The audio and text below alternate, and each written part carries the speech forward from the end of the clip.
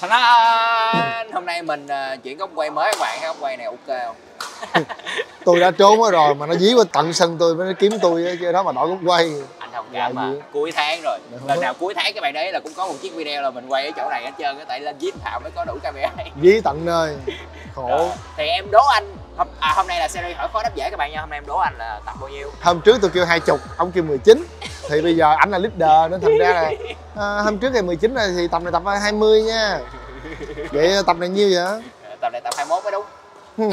Số đẹp quá ha. Số đẹp 21 rồi ừ. bắt đầu nha.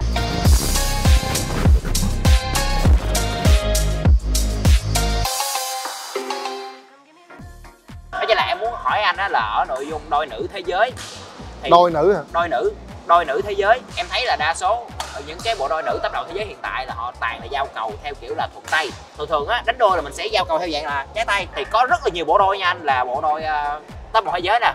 Là Chia Fan là cái cô đánh cầu đập, là cô đó giao ờ, theo cách là thuận tay như thế này. Rồi cái đôi ờ, Nagahara Matsumoto của Nhật Bản, cái cô Nagahara cũng là chọn là giao thuận tay luôn. Thêm một cái bộ đôi Trung Quốc cũng giao thuận tay là Senju và Su Sang là các cô Senju cũng giao thuận tay. Thì em muốn hỏi anh là tại sao lại dùng đôi nữ? Những cái vận động viên đánh thành công, những cái đôi top đầu lại chọn giao thuận tay mà thay vì mình lại giao trái tay thì nó ok la hơn nhiều, giao thuận tay dễ bị chụp sao? Ừ. cái này đúng hỏi khó thì nha quá wow, khó. Nhưng mà bây giờ tôi sẽ đáp theo kiểu dễ thử nha. Coi như ờ, phát cầu thuận tay nó sẽ có một lợi thế khi bạn phát cầu ra phía sau á. Dùng từ bắn đi. Dạ. Phát bắn. Nó sẽ nhanh nhanh hơn so với cái ờ, thuận tay. Ô trái tay xin lỗi. À, dạ. à là phát gạt vậy thì nó sẽ nhanh hơn so với đúng đúng đúng. Đương nhiên đối phương bên kia cũng biết được cái ưu nhược điểm tại vì làm vận động viên chuyên nghiệp hết rồi. Đúng. Thì đều sẽ biết được cái ưu nhược điểm của cái chuyện giao cầu thuận tay trái tay. Hôm trước anh cũng làm clip nói rồi yeah, đúng không? yeah. thì bây giờ họ phát như thế, chủ yếu là để hạn chế một cái việc, đó là khi mà đỡ vô cầu, rất hay chồm lên. Thì khi mà em sở hữu một cái quả phát cầu bằng thuận tay, thì nghĩa là cái quả, gọi là cái cái cú sở trường của em, rồi cái cú hiểm á, là phát cầu bắn ra phía sau á. Nó nhanh và nó hiểm hơn. Nên cái tâm lý của người nhận yêu cầu, họ cũng không dám chồm lên. Lúc đó em sẽ tự tin để phát ngắn và khi đã phát ngắn thì sẽ tự tin triển khai cái thế tấn công nói vậy em nghe hợp lý ok nhưng mà em cũng muốn phản biện lại là như nãy anh nói là bên kia họ thấy mình giao thuận tay ừ. là họ chủ động họ hơi lùi dạng miếng họ cắt ừ. cầu đập ừ. thì khi á đánh ở trên sân tấn công là người tấn công là người luôn có lợi thế hơn so với người phòng thủ ừ. đó thì bên kia là họ đã biết là bên đây công bên bên đây giao thuận tay là họ công liền và đặc biệt ở chỗ nha là khi mà họ công họ công vô chính giữa đúng không giao thuận tay giao lên về công vô chính giữa một cái là khó rất khó đỡ bởi vậy nãy giờ có không biết có bạn nào có đủ cái gọi là kinh nghiệm kiến thức và trải nghiệm với câu nói của tôi không? Sĩ phương chưa hiểu. Nghĩa là mặc định anh cầm như thế là để chủ yếu anh phát ngắn. Ấy là cầm thuận tay anh? Đúng rồi. Ủa, là để anh chủ yếu để anh phát ngắn. À. bởi vì khi bạn cầm như vậy thì ông kia ông sẽ sợ phát bắn.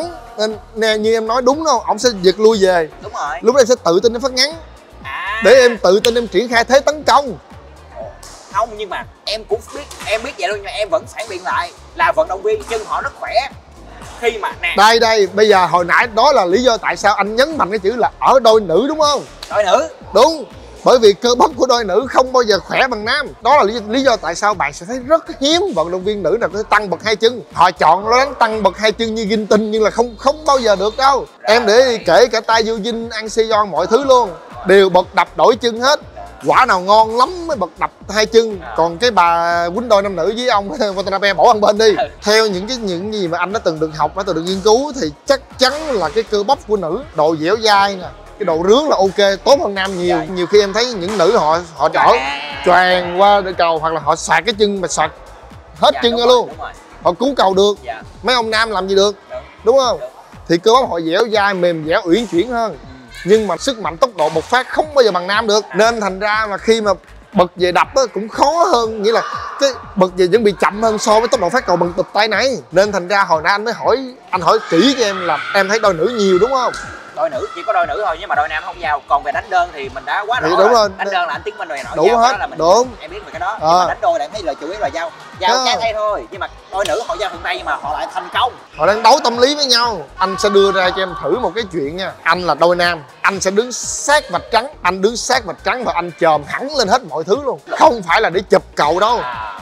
mà chủ yếu là anh để cho bên kia nó phải phát bắn nhiều lên là anh sẽ bật trình đập luôn như em nói là gây tạo áp lực. Đấy tạo áp lực đó. Rồi làm cho em cảm giác mà em phát cầu ngắn bị rung tay nè hay là gì gì đó.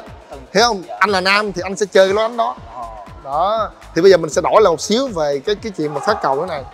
Anh đưa ra đây này không phải là để anh phát cầu bắn em đâu. À, mà để anh cố tình anh phát ngắn cho thoải mái hơn để anh có thể triển khai cái lối đánh của anh là nghĩa anh phát cầu ngắn qua sẽ bắt lưới luôn rồi bắt phản đạt tùy đè luôn. Làm như thế thì nữ bên kia cũng không dám chồm quá nhiều. Cái kỹ thuật cái động tác khi mà đón nhận giao cầu có thể họ chồm lên nhưng mà trọng tâm anh dám chắc một điều luôn luôn phải giật ra phía sau. Họ đứng thủ đúng không? Thì chân trái đứng trước. Đó. chân phải đứng sau mà chân phải luôn luôn co. À, à, họ me cái trái cầu bắn bên kia đúng rồi. nghĩa là trọng tâm đang phía sau đó. Còn ông là dồn hết lên trước là bắn chết ngắt liền chứ đó mà ông chồm chồm. Bạn nào thử một lần đứng thủ đi đứng sát lưới.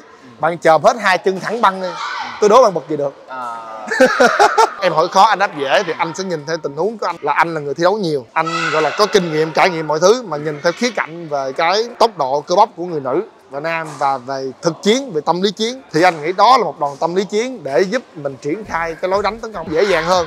Như anh đã nói cái người giao cầu là người nắm quyền chủ động. Chỉ có bạn tự phát lỗi kỹ thuật bạn quá yếu đi kỹ thuật bạn phát cầu quá yếu đi thì bạn mới thành bất lợi thôi chứ còn người phát cầu luôn luôn là chủ động nha. Cái nghe em có có thêm một cái nhìn nhận nữa mặc dù em biết vận động viên kỹ thuật họ rất tốt Đúng. nhưng mà có một vận động viên là cái cô tên là Nagahara là của Nhật Bản hồi xưa là cổ giao theo dạng là trái tay nhưng mà gần đây là cô bắt đầu đổi qua giao thuận tay. Thì với cá nhân em nghĩ và với rất nhiều các bạn ở trên Facebook và mọi thứ comment á có thể là do cô ta khi mà giao trái tay á thì cô ta bị áp lực cô ta giao cao quá bên kia chụp nhiều quá nên là anh ta cô ta mới quyết định là chuyển sang cái cách giao thuận tay anh có nghĩ là nó thì nếu mà xét vô cái tình huống nãy anh nói nãy giờ thì khi đưa về con gái thì bên kia nó phải, nó phải me về dưới. Thì tâm lý mình kêu ờ nó đang me về dưới rồi mình phải ngắn thôi. Ờ, khi mà em xem những cái trận cầu á giao thuận tay thì cái tốc độ như đã nói cái tốc độ rất là nhanh. Nhanh. thì khi bên kia họ đập á là họ chỉ đập ra nó ngang thôi. Đó. chứ khó đập cấm lắm. Thì anh đã nói Cái là cái anh đã nói là cái cái cú hiểm nhất của mà khi giao thuận tay là khi phát cầu sâu rất nhanh mà. Đâu phải khi không mà anh tiến minh mình từ hồi đó giờ chỉ phát cầu này thôi. Bởi vì ra anh tiến minh là quýnh phản tạc phòng thủ. Thì nên thành ra mà khi bắn ra sau thì cũng không sợ đập. Thôi khai sáng các bạn ơi. Đó Khai thì sáng, đây là mình chỉ đang anh chỉ đang trả lời theo đúng cái những gì anh được học và những gì anh trải nghiệm và những suy nghĩ của anh. Ừ. còn thực tế hay sao thì anh không phải là huấn luyện viên mà kiểu là đủ đẳng cấp quốc tế để mà lý do được. Tại vì những khi mà vận động viên muốn đổi kiểu kiểu giao cầu là phải được chấp nhận huấn luyện viên. Đúng rồi và đồng đội đánh chung với đấy đấy đấy đấy. Nên thành ra là anh cũng không thể nào mà biết được hết là lý do. Thì anh chỉ nhìn theo cái cái cái phương diện đó thôi. Ừ. thì hy vọng là bạn nào biết rõ hơn hoặc là gì đó thì bạn bạn hãy comment để mà thêm được kiến thức cho mọi người nếu các bạn thấy video hay boss nhớ để cho mình comment thảo một like một đăng ký kênh. Xin chào và hẹn gặp lại. Bye bye. các bạn nhé. Chia sẻ hay quá nữa em khai sáng